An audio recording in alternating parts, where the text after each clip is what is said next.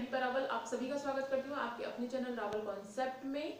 मौर्य वंश हम लोग कर रहे हैं। लास्ट क्लास में हमने मौर्य वंश की अर्थव्यवस्था किस तरीके की थी, यहाँ तक देखा था। आज की जो क्लास है हमारी, वो मुख्य रूप से मौर्य वंश के सामाजिक स्थिति और सांस्कृतिक एवं कलात्मक दृष्टि से किस तरीके का विकास हमें मौर्य वंश में दिखाई देता है, इस पर मुख्य रूप से आधारित है। अगर हम किसी भी सामाजिक स्थिति की बात करें, किसी काल विशेष की तो मुख्य रूप से उस काल की दास प्रथा, शूद्रों की स्थिति एवं महिलाओं की स्थिति में ही ज़्यादातर परिवर्तन हमें दिखाई देते हैं।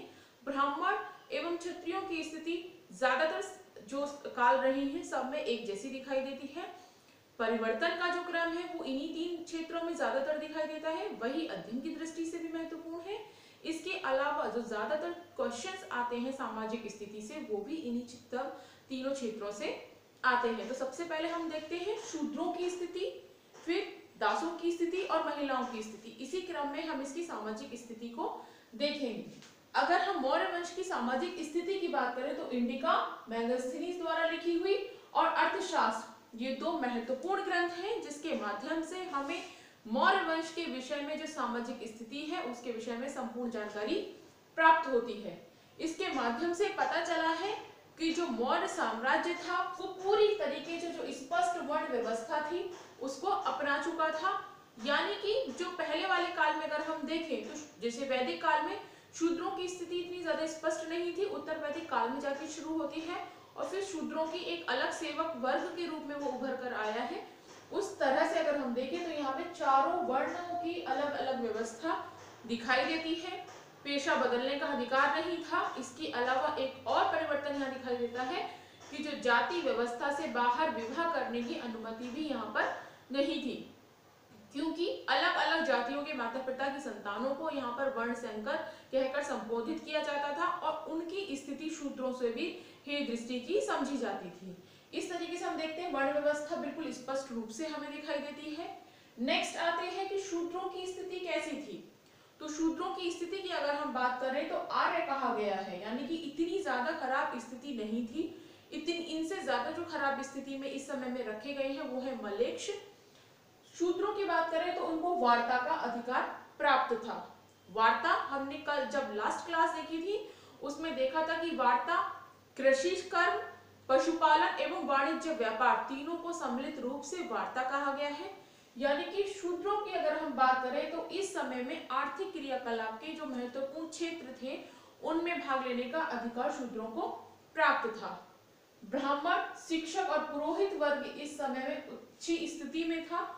उसको जो भूमि दान दी जाती थी, उसको ब्रह्मदेव कहा गया है। यानी कि ब्रह्मदेव वो भूमि जो कि शिक्षक, ब्राह्मण एवं पुरोहितों को दान दी जाती थी मौर्य वंश में। इंडिका मैगस्थनीज द्वारा रचित है, उसमें कहा गया है कि संपूर्ण समाज सात वर्गों में विभाजित था। यानी कि इस काल में इंडिका में जो लिखा गया है कि संपूर्ण समाज सात वर्गों में विभाजित था, यानी कि उसने जो पेशा लोगों के द्वारा अपनाया गया है, उसको जाति व्यवस्था के आधार पर विभाजित किया है। जैसे कर्मकार सूत्रकार कताई बुनाई वाले जुलाहा, धोबी, इस तरीके की कर्म के आधार पर, उसने जाति व्यवस्था के आधार पर लोगों का निर्धारण किया है।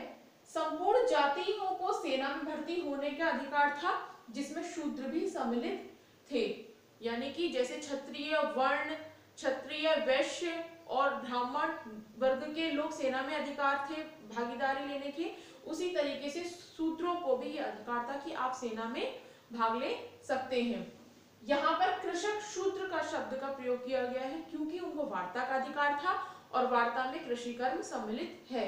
यानी कि इस समय के जो शूद्र थे उनको कृषक शूद्र कहा गया है।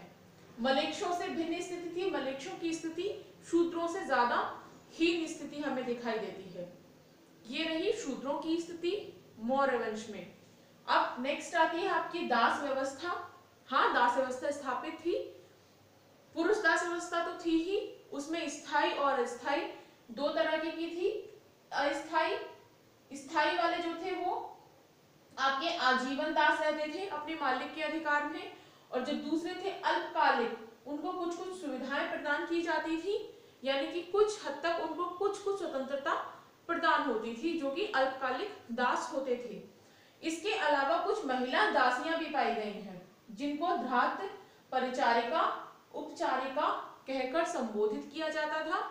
इसके एक और श्रेणी महिला दासियों की पाई जाती है, वो है बंधक दासी, यानी कि पुरुष दास व्यवस्था के साथ साथ महिला दासी भी हमें मौर्य वंश में दिखाई देती है। जाति व्यवस्था बहुत ज़्यादा कठोर थी, पेशा बदलने का अधिकार नहीं था, जाति के बाहर विवाह करने का अधिकार नहीं था। जैसे ब्राह्मणों की स्थिति बहुत अच्छी थी, क्षत्रियों की स्थिति बहुत अच्छी थी, उसी तरीके से दार्शनिकों की स्थिति भी यहाँ पर बहुत अच्छी थी। उनसे किसी भी प्रकार का कर यहाँ पर नहीं लिया जाता था। कर मुक्त जीवन जो है वो दार्शनिक बिताते थे। इनके साथ एक सीमा निर्धारित होती है कि अगर किसी भी तरीके से इनकी भविष्यवाणी गलत निकल आती है तो उनको यहाँ पर सजा का प्रावधान था। उसमें जो इनको सजा प्रदान की जाती थी, वो है कि उनको जीवन भर मौन रहने का ये बोला जाता था। इस तरह की सजा हमें दार्शनिकों के संदर्भ में मौर्य वंश में देखने को मिली है। उसके बाद आता है हमारा नेक्स्ट महिलाओं की स्थिति। मौर्य वंश में कैसी थी? मौर्य वंश में अगर महिलाओं की स्थिति की बात करें तो पुनर्विवाह का उनको अधिकार था, नियोग प्रथा का अधिकार था, सती प्रथा का नहीं देखने को मिलती है। लेकिन कहीं कहीं यूनानी दार्शनिकों के द्वारा ये कहा गया है कि जो उत्तर पश्चिम क्षेत्र की सेना थी, वहाँ के सैनिकों की पत्नी को सती होने के सं... कुछ कुछ हमें साक्ष्य प्राप्त होते हैं। लेकिन अगर ज़्यादातर क्षेत्र की मौर्य वंश की बात करें तो वहाँ पर हमें सती प्रथा जैसी कोई भी चीज़ दिखाई नहीं देती। दहेज प्रथा थी। दहेज प्रथा थी यहाँ पर। विवाह आदि के समय कुछ कुछ उपहार स्वरूप दिया जाता था, यानी कि दहेज प्रथा का हमें साक्ष्य मौर्य वंश से प्राप्त होते हैं। वैश्यावृत्ति थी, जिनको रूप जीवा कहा जाता था। विवाह विच्छेद का अधिकार पुरुषों के साथ साथ महिलाओं को भी था। अर्थशास्त्र से हमें इसके संदर्भ में जानकारी मिलती है। इसके अलावा इसको मोक्ष कहा गया है। अर्थशास्त्र में तलाक को मोक्ष कहा गया है और महिलाओं को भी तलाक लेने की अनुमति मौर्य वंश में प्रदान की गई थी। अर्थशास्त्र में एक और प्रकार की महिलाओं का उल्लेख है, उनको परिवारजक यानी कि सन्यासी महिलाएँ कहा जा है कहा गया है और उनको समाज में बहुत सम्मानजनक दृष्टि से देखा गया है। इस तरीके से महिलाओं की स्थिति हमें दिखाई देती है। मौर्य वंश में विवाह की आयु निर्धारित थी। बारह वर्ष स्त्री की और 16 वर्ष पुरुष की आयु थी विवाह के लिए। अंगरक्षिका महिलाएँ भी दिखाई देती हैं, यानी कि ईरानी जो आक्रमण का प्रभाव था कि इस समय में वहाँ से हमने अपनाया था कि अंगरक्षिका जो अंगरक्षक जो नियुक्त होते थे, उसमें हमने महिलाओं को भी नियुक्त करना शुरू कर दिया था, जिसमें महिला अंगरक्षिका हमें सम्राट की दिखाई देती है मौर्य वंश में। ये रही मौर्य वंश की महिलाओं की स्थिति कुछ कुछ बहुत अच्छी चीज़ें यहाँ पर थी और कुछ कुछ हमें ऐसी चीज़ें दिखाई देती जिनको आगे आने वाले काल में सुधारने के लिए भी प्रयास किए गए हैं। अभी नहीं, बहुत आगे आने वाले काल में, जैसे कि सती प्रथा जैसी चीज़ें हैं, उसको रोक लगाने के लिए कार्य किए गए थे। अब आते हैं यहाँ की शिक्षा व्यवस्था एवं साहित्य। शिक्षा का महत्वपूर्ण केंद्र था तक्षशिला, जो कि उत्तर पश्चिम क्षेत्र में पड़ता है। वहाँ से ही जो इसके चंद्रगुप्त मौर्य संस्थापक थे, मौर्य वंश के उनके द्वारा शिक्षा प्राप्त की गई थी तक्षशिला से। मौर्य वंश के संस्थापक चंद्रगुप्त मौर्य के द्वारा जो शिक्षा प्राप्त की गई थी, वो प्राप्त की गई थी तक्षशिला से। अगर क्वेश्चन ये आता है कि मौर्य वंश का शिक्षा का प्रमुख केंद्र कौन सा था? तक्षशिला। कहाँ से शिक्षा किस, किसने यहाँ से शिक्षा प्राप्त की थी? चंद्रगुप्त मौर्य। इसके अलावा एक और राजा है, वो है प्रसन्न जीत उनके द्वारा भी शिक्षा तक्षशिला से ही प्राप्त की गई थी। दूसरा एक और महत्वपूर्ण क्वेश्चन ये है कि इस समय के साहित्य कौन कौन से थे? तो अर्थशास्त्र, कौटिल्य द्वारा रचित है, इंडिका मैगस्थनीज के द्वारा है, इसके द्वारा अष्टाध्याय एवं कात्यायनी। ये ग्रंथ हैं जो कि इस समय के हैं, मौर्य वंश के ग्रंथ हैं। ये रही यहाँ की साहित्य और शिक्षा, महिलाओं की स्थिति, शूद्रों की स्थिति, जाति व्यवस्था एवं दासों की स्थिति। अब आता है महत्वपूर्ण विषय कला।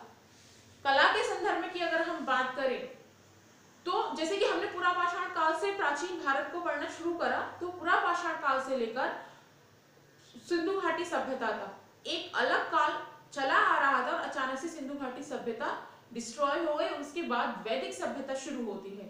तो पूरा पाषाण काल से लेकर अगर सिंधु घाटी सभ्यता की कला की बात करें तो वहाँ पर हमें कला का विकास दिखाई दे रहा था। पूरा पाषाण काल में, जैसे कि भित्ति चित्र है, गुफाओं में, ये सारी चीज़ें दिखाई दे रही थी। उसके साथ साथ हमें जो सिंधु घाटी सभ्यता है, वहाँ पर हमें मूर्ति कला और सिक्कों पर हमें उत्कीर्णन का कार्य इंग्रेविंग वर्क हमें दिखाई देता है। स्थापत्य कला इस तरीके की व्यवस्था हमें वहाँ दिखाई देती है।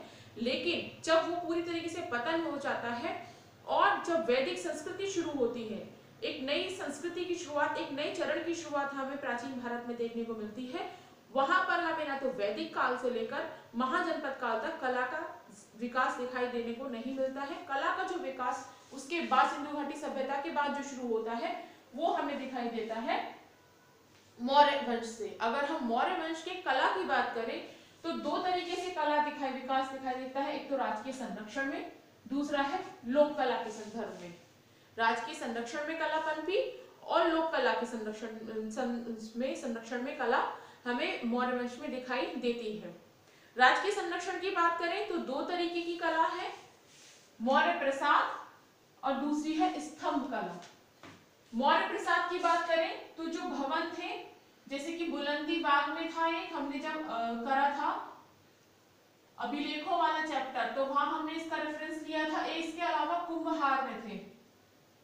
यहाँ पर हमें राजप्रसाद देखने को मिलते हैं, जो कि बहुत ज़्यादा भव्य नहीं है बहुत साधारण से लकड़ी के बनाए गए हैं। इस तरीके की कला हमें दिखाई देने को मिली है राजकीय संरक्षण में मौर्य प्रसाद जो कि बनाए गए हैं। दूसरी जो कला का विकास दिखाई देता है, वो है स्तंभ निर्माण। ये भी हमें राजकीय संरक्षण में दिखाई देते, स्वतंत्र रूप से स्तंभों का निर्माण किया गया था। किसी भवन निर्माण के साथ स्तंभ नहीं बनाए गए थे। अशोककालीन स्तंभ जो कि सात अलग अलग स्थानों से छह अलग अलग स्थानों से सात स्तंभ में दिख, दिखाई देते हैं जो कि आज भी मौजूद है। ये किसके बनाए गए थे? तो बलुआ पत्थर के बनाए गए थे। इसकी पॉलिश बहुत ज़्यादा महत्वपूर्ण स्थान रखती है मौर्यकालीन स्तंभों की पॉलिश। ठीक है? सीधा है ऊपर से लेके नीचे तक। इतना ज़मीन में है एक ही एकाश्म पत्थर का बना हुआ है। जो पूरा एक ही पत्थर का प्रयोग किया गया है उसके लिए जो शब्द यूज़ होता है, वो है एकाश्म एक ही पत्थर का है, जितना ज़मीन में है, उतना ही ऊपर है, लेकिन ये पूरा का पूरा एक ही पत्थर का बना हुआ जो स्तंभ है, वो हमें दिखाई देता है। इसमें मुख्य रूप से क्या था? यष्टि बनाई जाती थी, एक चौकी। उसके ऊपर उल्टे कमल की आकृति और उसके ऊपर किसी पशु की आकृति को बनाया जाता था। पशु की आकृति में अगर हम देखें तो महत्वपूर्ण है रंगपुरवा में, बैल की आकृति हमें देखने को मिलती है। वहीं सांची और सारनाथ की बात करें तो हमें सिंह की आकृति देखने को मिलती है। सारनाथ में हमें एक और आकृति देखने को मिलती है, वो है धर्म चक्र प्रवर्तन, जो कि ये इस तरह की जो तिलिया वाली एक आकृति है चक्र जो दिखाया गया, वो हमें सारनाथ से देखने को मिलता है।